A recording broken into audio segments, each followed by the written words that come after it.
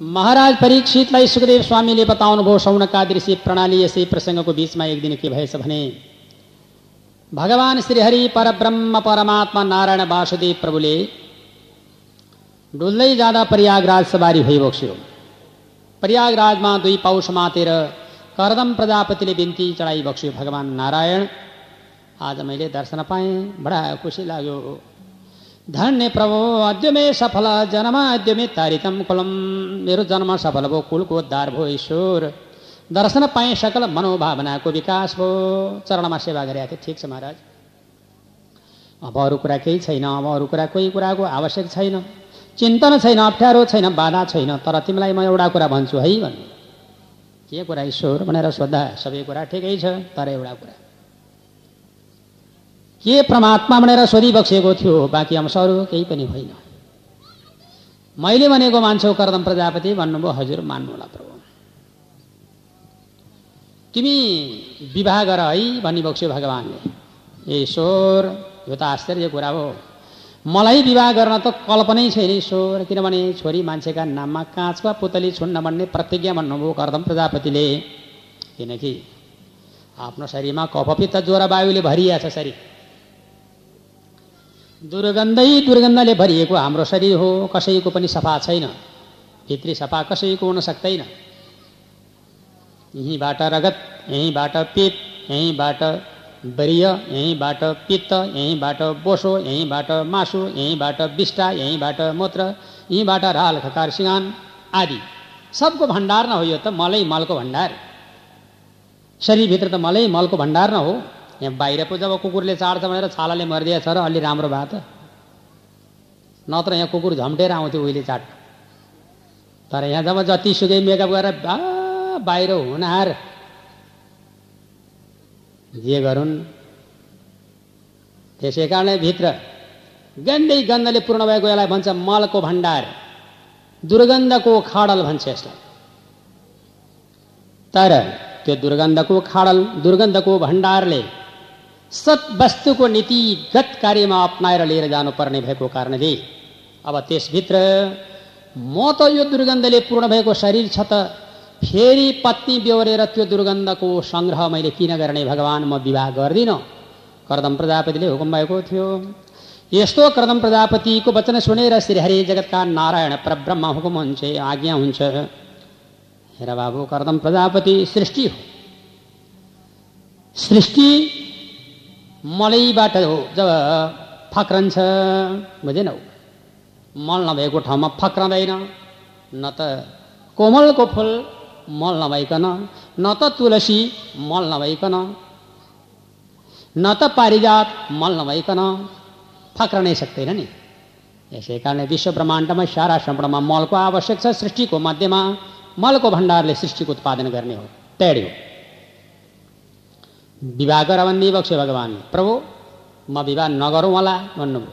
मैले भने नमान्ने भने बक्सिएको थियो हजुरले भनेको नमाने कसले भने मान्ने। त्यसो भने आजै विवाह गर। भएर आज्ञा गरिबक्स्यो हस्त बरु केटीको। भन्दाखेरिमा रोजाइ गर न। भन्दा म रोज्दिनँ प्रभु एउटै कुरा रोज्न चाहन्छु। मैले बिहा गरेकी मेरी श्रीमतीबाट एउटा छोरो भएपछि त्यो पत्नी छोड्ने। म जोगी भएर जङ्गल जाने। हुन्छ? त्यो मैले बिहा गरेकी पत्नीबाट एउटा छोरोसम्म पाउने त्यो छोरो पाएको भोलिपल्ट म हिँडिहाल्ने त्यसलाई छोडिदिने। त्यसो भने बिहा गर्छु। भन्नु छोरो नपाउन्जेल त बसौला नि भन्नुभयो बस्छु त नि भन्नु ल त्यसो भने भइगयो। ल तिमीलाई केटी व्यवस्था मिलाउने मेरो भाग भयो भनेर श्रीहरि जगतका नारायण सवारी भइबक्स्यो र। महाराज स्वयम्भ मनु भन्नुभयो। हजुर प्रभु तिम्रो तिनवटा छोरी होइन? हो। जेठी छोरी कसलाई देऊ? आकुति रुचिलाई दिए। कान्छी छोरी प्रसुति दक्ष प्रजापतिलाई दिए। अब माइली छोरी देवहुती करदम प्रजापतिलाई। लौ त मेरो भगवान् त्यत्रो प्रकाण्ड विद्वान संसारले पुजिँदै भएको मानिएको व्यक्तिले म जस्ताको छोरी बिहा गर्नु होला र भन्नुभएको थियो। त्यो कुरा केही होइन मैले मिलाइसकेका छु। बरु अन्त नभन सरास्र गएर छोरी लगेर प्रयागराजमा देऊ भन्नुभयो पुष्करा व्रतकमा भगवान् श्री हरिबाट धन्य नारायण म जरी रमाइलो लाग्यो मेरी छोरी त्यस्तो प्रकाण्ड विद्वानलाई दिन पाउनु विश्वले मानिएको व्यक्तिलाई मैले ज्वाइँ साहेब भन्न पाउनु। आजै लगेर दिन्छु भनेर सरास्र छोरी लिएर जानुभयो करदम प्रजापतिका पासमा?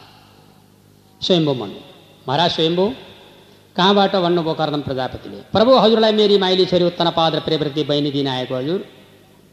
भन्नुभयो। खै छोरी यिनै हुन्?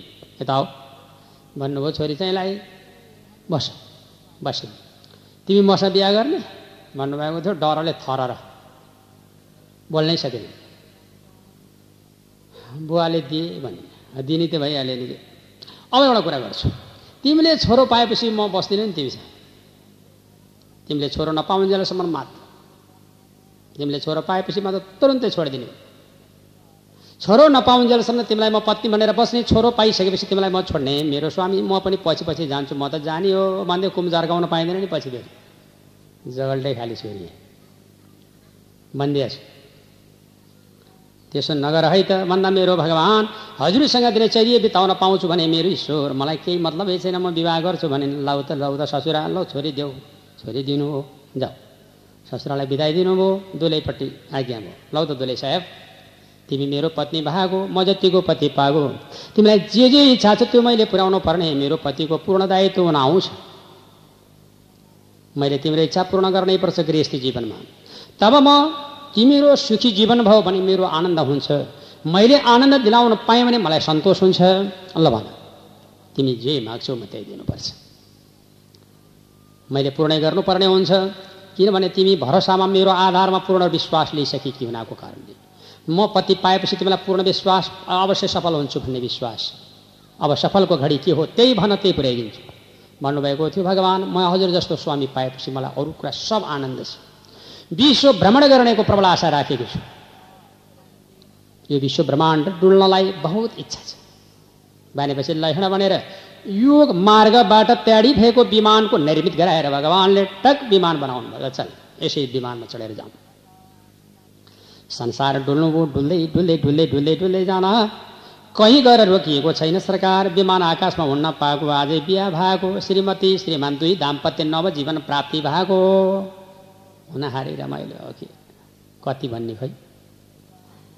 क्या जब दिनमा भेटाइछु मेरो परमेश्वर क्या पति पाइछु भनेछ भैमान भाँडा भएर हिँडेछ। यसै कारणबाट संसार सारा भ्रमण गर्दै गर्दै गर्दै आकाशमा जाँदाखेरिमा चैत रत्नाम गोपाल श्रीशैल बेकण्ठ कामकोष्णी श्रीशैल आदि गरिएका सहरहरू सारा सम्पूर्ण कनदमा डुल्दै जाँदा अयोध्या, मथुरा, माया, काशी कान्छी अवन्तिका आदि गरिएका सहरहरू सारा सम्पूर्ण भ्रमण गर्दै गर्दै जाँदा आकाश विमानमा जब गएको वायु एनको प्रभावबाट हावाको गतिमा प्लेन उडेको विमान उडेको निर्मित नाम गरेको विमान इच्छा दिनको विमान, योग मार्गबाट निर्मित भएको विमान। जुनै किने किसिमको जब यसलाई तेल चाहिँदैन पेट्रोल चाहिँदैन डिजल चाहिँदैन कुनै प्रकारको घोल चाहिँदैन केही चाहिँदैन सारा सम्पूर्ण संसार डुल्दै डुल्दै गएको हे मेरो नारायण, हे मेरो हरि हजुरलाई मेरो कोटी प्रणाम छ। हजुरका प्रतिमा मेरो दण्डवत प्रणाम छ। मेरो ईश्वर म माथि क्षमा गर्नुहोस् म माथि दया बाबा राखी बक्सु ईश्वर बनिकन बारम्बार कन परमात्माको प्रार्थना भयो भजन भयो मनन भयो कीर्तन भयो प्रभुको चरण रूपी कमलमा ध्यान मनन प्रभाव प्रभावबाट दिनचर्या सारा संपूर्ण प्रगति सम्पूर्ण प्रगतिको पदमा लम्काएर गइरहेका थिए त्यसै बेलाका बिचमा लौ त मेरो ईश्वर।